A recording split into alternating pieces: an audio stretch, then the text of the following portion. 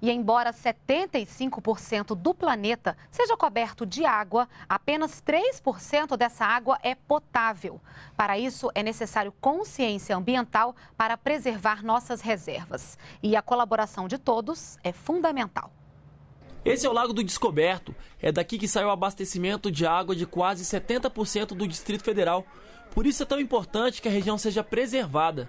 Durante muito tempo, os produtores rurais daqui tinham medo de perder as terras porque o poder público queria desapropriá-las para garantir a preservação da bacia.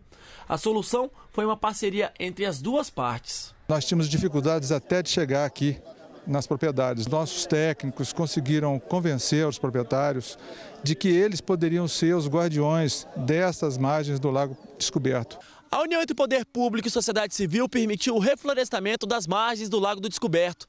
Aqui estão sendo plantadas 100 mil mudas como essa de plantas nativas da região. Além das mudas, os produtores também recebem educação ambiental e hoje estão orgulhosos em ajudar a proteger o lago. Você está aqui, né, preservando um, um, um digamos assim, um bem-estar da população, da nação, né? Minha produção é de orgânico para não poluir, uma produção sustentável né?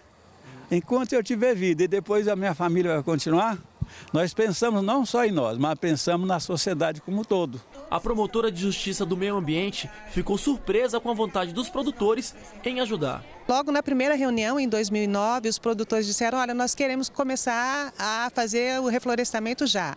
Então nós tivemos que correr para conseguir algumas mudas e desde então plantamos cerca de 186 mudas aqui na, na, na regi região, 186 mil mudas. A união entre o poder público e a sociedade civil é tema do seminário Água, Comunicação e Sociedade, que acontece em Brasília. Nós precisamos cuidar bem das águas. Então a cooperação é isso, quer dizer, é cada um dar aquilo que ele pode dar num esforço coletivo. Né?